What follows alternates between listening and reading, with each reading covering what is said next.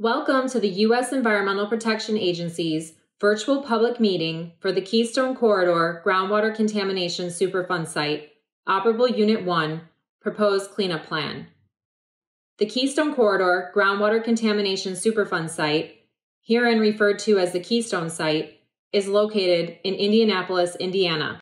Given the unique circumstances of the COVID 19 outbreak, along with our commitment to protecting public health during this national emergency, EPA changed the in person public meeting to a virtual format to avoid in person contact.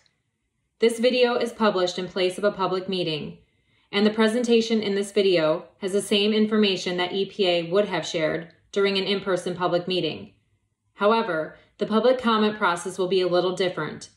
Details on how to submit a comment and have your comments addressed will be covered later on in this presentation. All site information can be found on EPA's webpage. This virtual public meeting has been convened by EPA and is being held to receive and consider comments from the public regarding the proposed plan.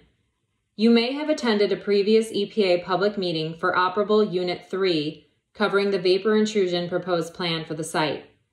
However, for the benefit of those who did not attend that meeting, I would like to explain why and how EPA will conduct the virtual public meeting. The virtual public meeting has three essential purposes. Number one, to explain EPA's recommended cleanup plan for contaminated groundwater at a portion of the site. Number two, to provide information on the project status. Number three, to accept and record public comments on the proposed cleanup plan. This virtual public meeting is being held in compliance with EPA's Superfund law. The transcript of this presentation is available on EPA's website at www.epa.gov forward slash superfund forward slash keystone dash corridor dash groundwater. Following this virtual public meeting, EPA will proceed with the preparation of the Record of Decision for Operable Unit 1. Your statements and comments will be addressed in this document and will be given full consideration in preparation of the final cleanup plan for Operable Unit 1. Comments will be accepted in a number of ways. You may submit a comment by using the comment form on EPA's webpage at www.epa.gov forward slash superfund forward slash keystone dash corridor dash groundwater. You may submit a written comment via email at leon.heriberto at epa.gov. You may submit a written comment by mail to US EPA Region 5, attention, Heriberto Leon, 77 West Jackson Boulevard, mail code RE 19J, Chicago, Illinois 60604 3590. Or you may leave a verbal comment by voicemail at 312 886 6662. Comments must be received or postmarked within 30 days of the virtual public meeting date, which is June 30th, 2020, to be part of the official public record. Slide 5 shows the Keystone Corridor site location map. The site boundary is shown in yellow and includes 45th Street to the north, 38th Street to the south, Eastern Avenue to the east, and Norwaldo Avenue to the west. The site boundary encompasses approximately 390 acres and is located in a mixed residential and industrial commercial area. Fall Creek splits the site in half. The Fall Creek Bedrock Municipal Well Field is also located within the boundaries of the site. The focus of the presentation today will be on the former Tuchman Cleaners property, which is outlined in yellow on this map, just above the yellow X. What are the risks at the site? Risks and pathways will be addressed by the cleanup and include human health risks from people ingesting or touching contaminants found in the groundwater. These contaminants include tetrachloroethene, or PCE for short, and trichloroethene, or TCE for short. PCE is a non flammable, colorless liquid commonly used as a dry cleaning agent and metal degreasing solvent. TCE is a colorless, volatile liquid and has two major uses as a solvent to remove grease from metal parts, and as a chemical that is used to make other chemicals, especially the hydrofluorocarbon refrigerant, HFC 134A. Both PCE and TCE are known to be harmful to people if exposed at high enough levels. In 2017, EPA began a source area investigation of the former Tuchman Cleaners property, based primarily on the results of EPA's remedial investigation at the Keystone site, which occurred from 2014 to present. During the source area investigation, EPA identified two main areas of PCE and TCE contamination. The first zone is within the unsaturated zone, which is the zone above the groundwater, between 5 and 15 feet below ground. And the second zone is within the shallow groundwater interval from 15 to 25 feet below ground. This figure shows the vertical and horizontal extent of PCE and TCE contamination within these two zones. The unsaturated zone is shown above the blue dash line, and the shallow groundwater interval is labeled directly below it. The red shaded area in both zones and deeper shows residual, dense, non-aqueous phase liquid, referred to as DNAPL, or also what EPA calls free product. DNAPL, or free product, contains high concentrations of the contaminants. Slide 8 shows the nature and extent of PCE groundwater contamination at the Keystone site. During the remedial investigation of the Keystone site, EPA identified shallow PCE groundwater contamination, or groundwater plume, that is approximately 4,500 feet long by 1,500 feet wide and shown by the yellow dashed lines. The maximum concentration of PCE in groundwater within the shallow plume at the former Tuchman Cleaners property is over 5,000 micrograms per liter. The intermediate PCE groundwater plume is approximately 750 feet long by 250 feet wide and shown by the red dashed lines.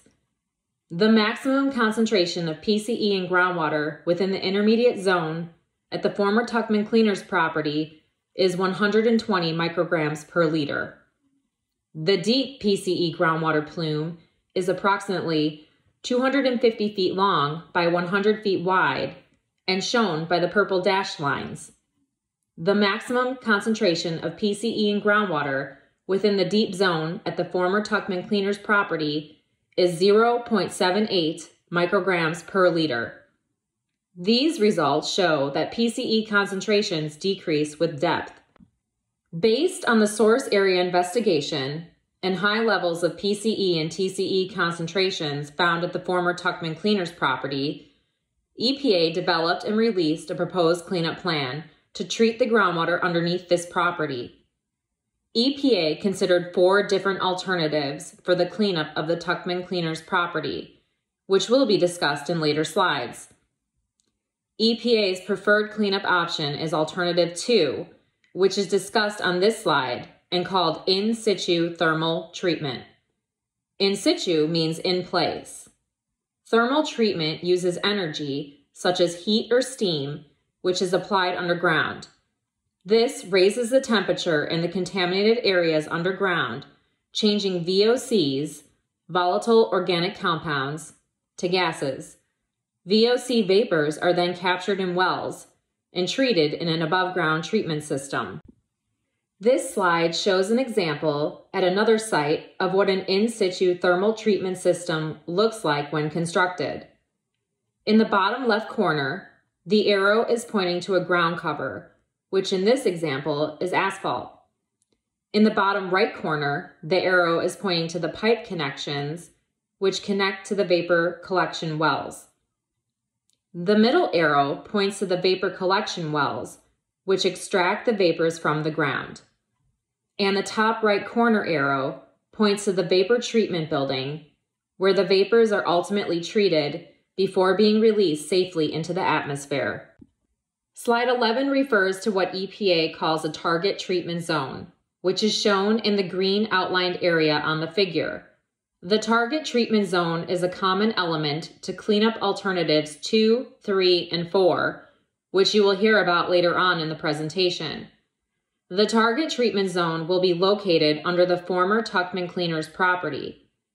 Based on the source area investigation, EPA determined that the horizontal or two dimensional extent of contamination is approximately 9,000 square feet based on the outermost volatile organic compound contour line, shown in purple at 1,000 micrograms per kilogram. The vertical, from top to bottom, extent of contamination that will need to be treated is located within two zones. In the shallow aquifer between 15 to 25 feet, and below that in the upper clay between 25 to 40 feet. These two zones had the highest levels of VOC concentrations during the source area investigation. EPA is required by law to consider nine evaluation criteria, which include number one, overall protection of human health and the environment. Number two, compliance with the applicable or relevant and appropriate requirements of federal and state laws. Number three, long term effectiveness and permanence. Number four, reduction of toxicity, mobility, or volume through treatment. Number five, short term effectiveness. Number six, implementability. Number seven, total estimated cost. Number eight, state acceptance. And number nine, community acceptance. Based on these criteria, EPA prefers alternative two, in situ thermal treatment because it is the fastest and most effective way to reduce the groundwater contaminant source mass under the former Tuchman property. It would take only about one year for the design, construction, operation, performance monitoring, and decommissioning of the treatment system. In situ thermal treatment has a high degree of long term effectiveness and protection of human health and the environment over time. In situ thermal treatment is expected to significantly disrupt the current landowner's business operations for nearly a year because of the considerable subsurface and above ground infrastructure required.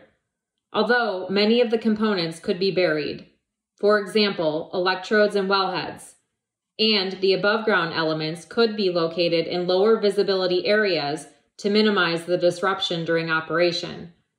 However, in situ thermal treatment has the highest certainty of effectively treating the contamination and reducing the source contamination mass. The construction time is expected to be between two and three months, and the approximate time to reach remediation goals for cleanup is one year. The total estimated cost is between 3 to 3.4 million. Other cleanup options that EPA considered were Alternative 1, no action, which is used as a baseline for comparison to the other alternatives. Alternative 3, in situ chemical reduction via injection, which consists of injecting compounds into the contaminated area to make the contaminants less hazardous or toxic. And alternative 4, in situ chemical reduction via soil mixing, which involves the same elements as alternative 3, but uses soil mixing instead of injection to introduce the compounds into the contaminated area. More details about all of the alternatives EPA considered are available in the proposed cleanup plan and in the administrative record found on EPA's webpage at www.epa.gov forward slash superfund forward slash keystone dash corridor dash groundwater. Next steps. We invite you to send us your comments on the proposed cleanup plan. After the comment period ends on June 30th, 2020, EPA will prepare its response to comments. Then, EPA writes a final decision document called a Record of Decision, which will include the written response to comments.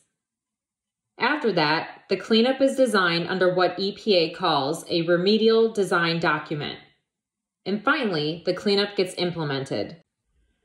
For more information about the proposed cleanup plan, please visit EPA's webpage at www.epa.gov forward slash superfund forward slash keystone dash corridor dash groundwater. Or you may contact me, EPA's remedial project manager, Leslie Blake, at blake.leslie at epa.gov. Remember, there are four ways to submit comments by June 30th, 2020. You can submit a comment by using the comment form on EPA's webpage at www.epa.gov forward slash superfund forward slash keystone dash corridor dash groundwater. You may submit a written comment by email to Heriberto Leon at leon.heriberto at epa.gov. You may submit a written comment by mail to U.S. EPA Region 5, attention, Heriberto Leon, 77 West Jackson Boulevard, mail code RE 19J, Chicago, Illinois 60604 3590, or you may leave a verbal comment by voicemail at 312 886 6662. Comments must be received or postmarked within the 30 day public comment period which is June 30th, 2020, to be part of the official public record. Thank you for your interest in the proposed cleanup plan for the Keystone Corridor Groundwater Contamination Superfund site, Operable Unit 1. We look forward to your comments.